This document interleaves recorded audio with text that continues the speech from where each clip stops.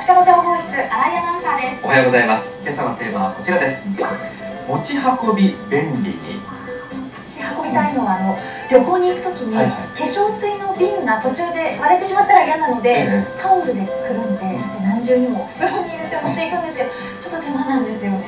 それあの詰め替えるんじゃダメなんですか？あでも詰め替えるのも手間なので、えなんかないですかね。詰め替えずに割れない持っていかない。あダメですね今日のアイデアは持ち運びですからね。はい。化粧水はちょっと入らないかもしれないんですけれども詰め替えに便利なアイデアも出てきます。はい。さあおしまいはこちらのグッズです。これ何を持ち運ぶ時に使うと思います？えー、ヒントはこの透明の筒です、透明の筒？うん。うん。あそうですね。ここに細長いものをこう刺す。はい。傘とか。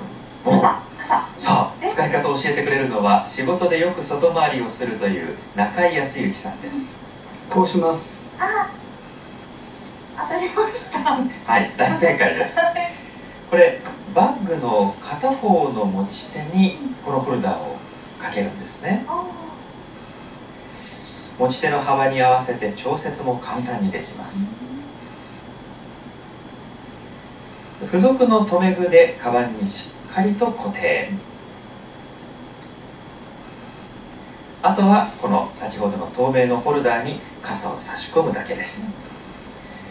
バッグを持つだけで傘も持ち歩けるというアイデアです。またあの傘を手で持って歩いてると、はいこんな風に無意識に傘を振ってしまって周りの人の迷惑になってしまうこともありますよね。ね。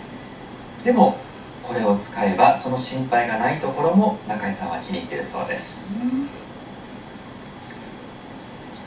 ズバリ片手が開くという、まあ、その点が一番気に入っているところですね。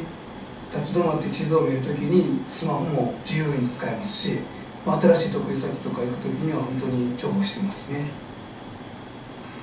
雨が止んだ時とか降りそうで持っていきたい時に便利ですよね。確かに。はい。持ち忘れもなそうですそうですねね。そしてあの最初にお伝えしましたこちら、えー取っ手がつく留め具なんですけれども、付け外しが簡単ですのでこんな風にまとめた雑誌を捨てる時にも便利ということなんですね。手が痛くなりにくいです。ゴミ収集所がちょっと遠かったりするといいかもしれませんよね。